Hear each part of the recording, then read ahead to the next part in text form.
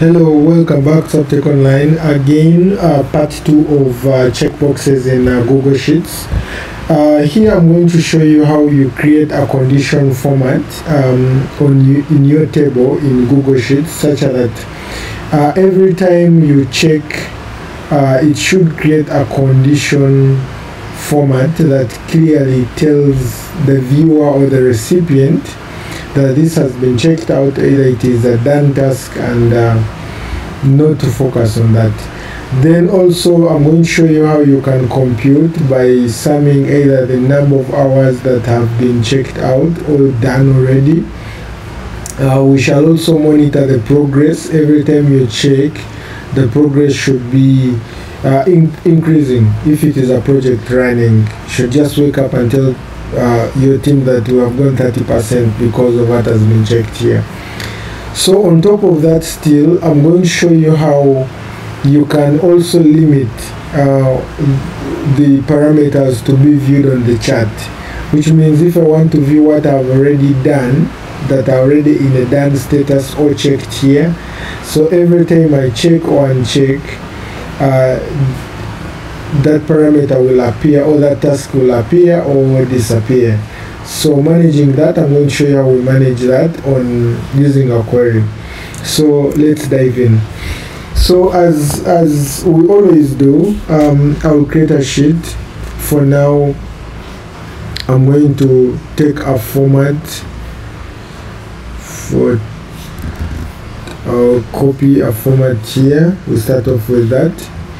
Then uh, as always, I get my data using ChatGTP. So here, this is what we, we did. Uh, so I asked ChatGTP, give me 20 random project tasks, tabulate them, tabulate the results in three columns. I defined the columns that task uh, short code, the task name and the hours used. So this is what ChatGPT uh, gave me. That is the three columns I requested and the total hours. So doing this, I completely get a random data that I'm going to use. So you can always go ahead and copy, then you paste the same in in your sheet. So I will do the same here. So we shall copy that and we paste here. So pasting values, I will use Command Shift V.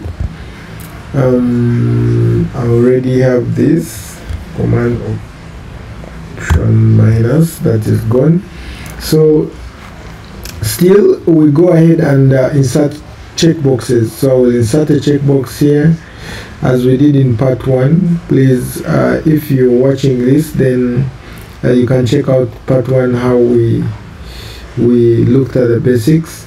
So you insert a checkbox which means when I check it means that this task has been done. So how do we do that so we are going to create a condition format such that when I check, it should insert a color or even you can strike through what you have already done. So uh, okay, uh, we are now on the next step. We are going to insert the condition formatting. So uh, how do we do that? You can start always with the first one by selecting uh, the first row uh, of your data right click and view more and insert a condition formatting or you can always use um, here on insert then sorry format. You should be having con condition formatting and this is the pane you'll get on the right. So what do we do? Here we're going to use a custom formula yes and you'll always start with equals to this is if. Now we are testing if d2 so we're going with d2 uh, which means uh, we have to lock the column which is going to stay constant uh, but we shall be alternating through the rows.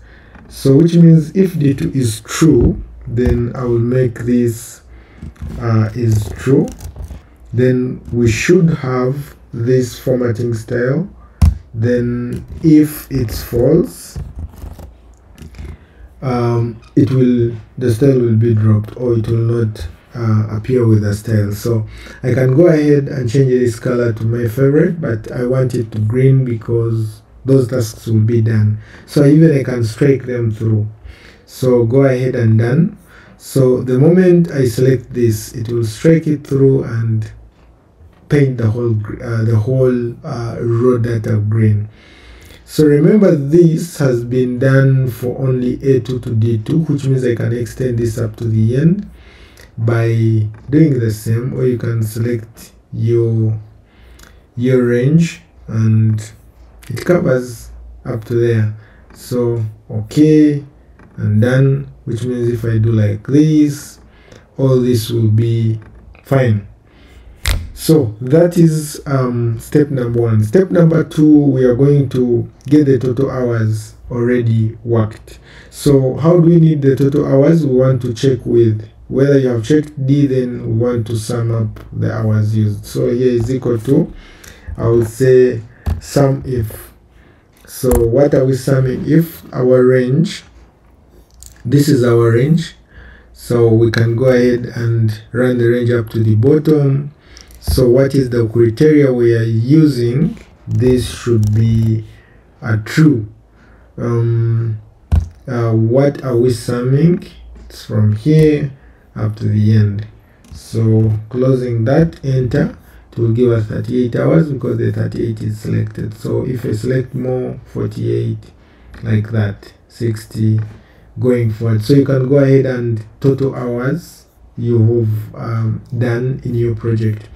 Okay that is done. Let's go to progress. How do you manage the progress still nearly ideally the same thing? You can have the progress of the hours or the progress of the number of tasks you have done so here we are going to count.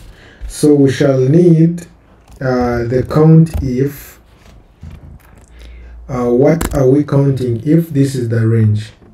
So and we are considering this if it is true. And that's it. Now here which means we have done five tasks.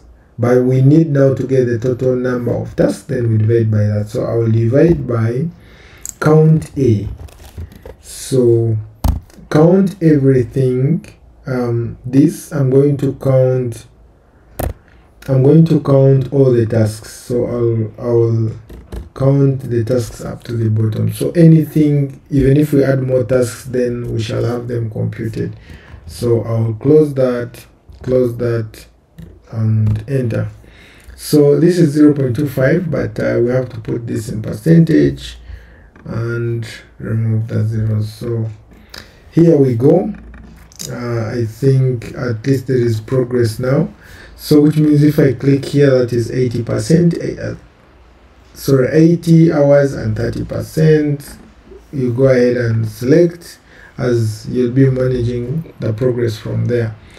So you can go ahead and even add here a bar a bar chart but uh, that will be for the next time. Try check our videos um, uh, in the link above the corner.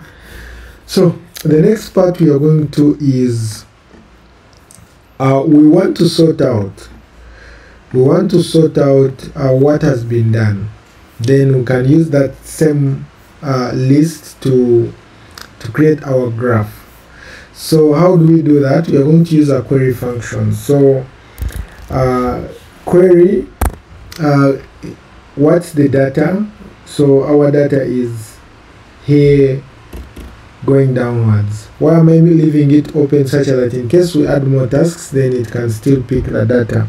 And what am I querying? So the syntax for querying is this. Now you start selecting the columns you need. So I need column A, B, and C because I don't need D.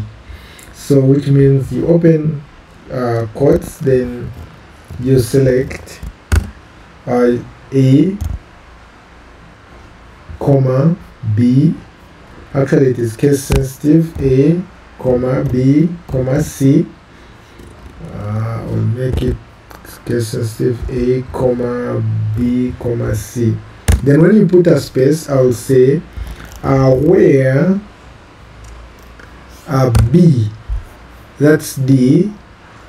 Where our d equals to true so anything where uh, D is checked then we shall be having all that data row. So I will close my quotes first of all. That is when you're querying already my headers I have them here. I don't have to consider the headers. Then I go ahead and close this and enter. So the moment you do that it will uh, create an array for all what you have checked. So if you, I see if I uncheck this uh, it will automatically disappear from the list. Now this is the find list I can go ahead and use. The next thing is to create a chart so I will select the whole of that is that insert a chart and here we go. Uh, I'll create a simple chart for now. So this is our chart uh, what do we check in the chart when we come to the setup? Uh, yes on the x-axis we have the task code which is fine. Um, I don't need the labels that's one. I will go to customize then I will need uh, go to chart uh, uh, on series I will need data labels. Then I don't need the axis. You can go ahead and make it change the color because you may not delete it. I don't need the grid lines. You can go ahead and remove them major grid lines and here we go. So you can proceed and create titles and all that but this is it. So the moment I select um, the fourth you see now I'm not having a change on my graph because of one reason that this graph when I double click to the setup this graph is running up to K5 so which means it is only having four items. So I will have to open this and enter. So it goes up to the last um, uh, row to this uh, sheet. So the moment I select you see that that is the reduction. So these are four these are three this is two. So you can go ahead and check as more as you can if you're analyzing the tasks which one took many hours task two took many hours and all that. Guys uh, this is it. We make it up to the end. Uh, thanks for watching up to the end and uh, please go ahead and subscribe. Uh, please uh, click that bell such that you can always have notifications to such videos every time we upload them. And don't forget to subscribe like and comment. Otherwise i meet you in the next video. Bye bye